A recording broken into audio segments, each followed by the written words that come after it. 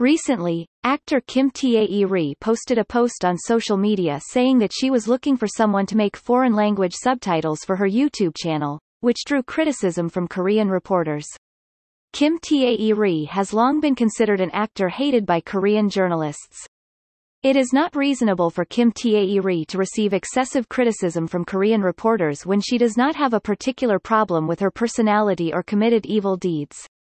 This is especially true when you consider that there are many cases in which reporters defend celebrities who have committed illegal acts.